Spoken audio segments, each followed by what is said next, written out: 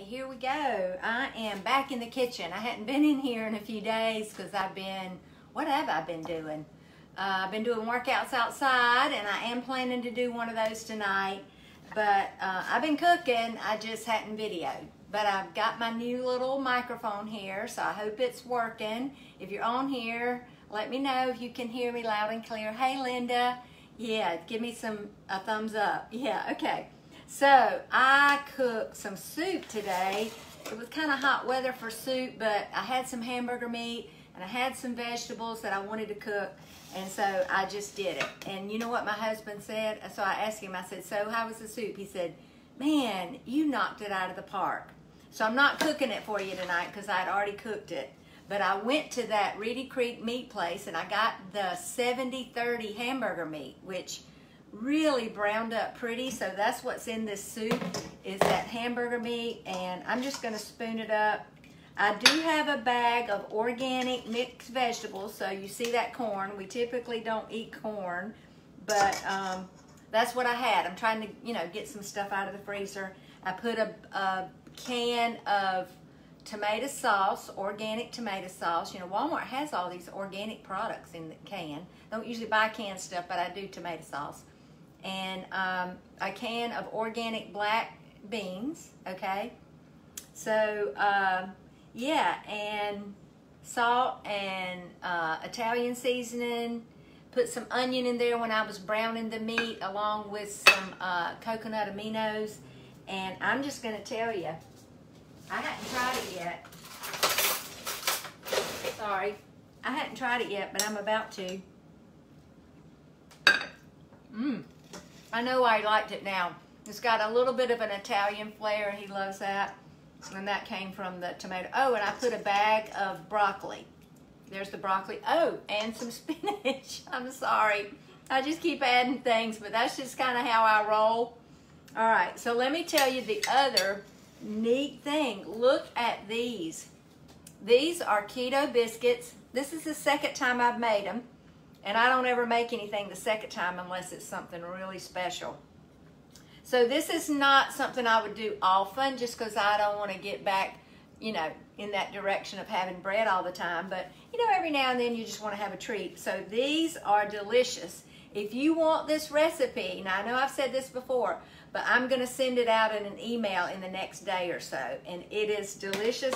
And let me tell you why it's so good. What's different about it it tastes like cornbread. Honestly. And it's almond flour. Yeah, it is like cornbread. And my daughter, Leah, who has very sensitive taste buds, said that. She said, it, Mama, it's like cornbread muffins. Yeah. So you don't want to miss this recipe. But if you want to get it, you got to get on my email list. So put your message, your email below. Some of y'all, most of y'all that are on here are already on my email list. So you're going to get it, I promise. If I have to just take a picture of the book that it was in and send it to you, I'll definitely post it in the Revive You Challenge community, which is where all the people are that are in my program. Okay, so I'm going to push that aside just a minute because I kind of had something, you know, just, just kind of serious I wanted to talk about since I hadn't been on here. Oh, one more thing. I found a new kind of butter. I think my husband found this at Walmart.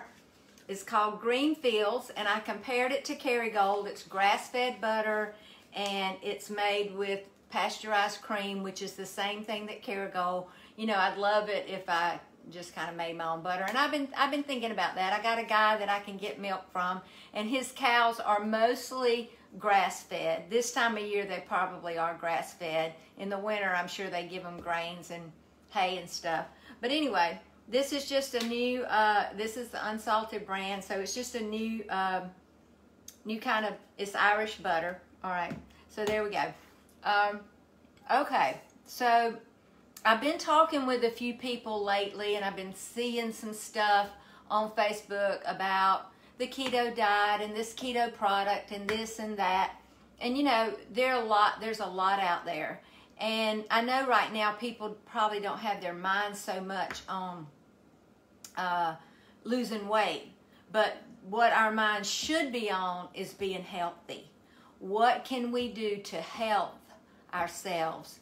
And I just want to tell you that putting something in a drink every day or taking something every day, it may help you, but it's not something that's sustainable for the long term. I did a lot of those things and, and I lost weight with some of those, but now I just eat healthy. I mean, who wouldn't love that for supper?